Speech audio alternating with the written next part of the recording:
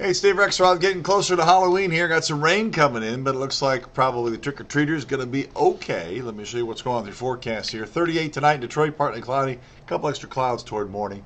I think we're talking probably low to mid 30s though in the suburbs. A little chilly to start on Tuesday, but it's a nice little south breeze that develops. A little sunshine early, not much. A 58 for a high. That's actually above average. First time in about two and a half weeks. Uh, clouds on the increase here. There is a slight chance for a shower north and west of Detroit very late in the day toward the evening. Better chances as we get into Tuesday night and Wednesday. But the good news is for the trick or treaters, the rain is done by about 2 o'clock in the afternoon at the latest. So it's mostly cloudy, but it's dry. That's the key. And still in the low 50s here for trick or treaters with a little bit of warmth. So that's not bad. Then we jump ahead to the weekend here. Just want to remind you today we started at 8:03 with the sun, and went down 6:31. But yes, this is the weekend to adjust the clocks. You fall back, so when you go to bed Saturday night, bring it back an hour. You gain an extra hour of sleep.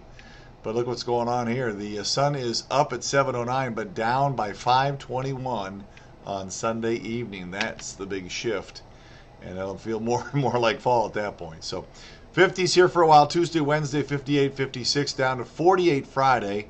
Rain probably a good chance on Thursday and Friday as well. We might squeak out, might squeak out a dry day on Saturday.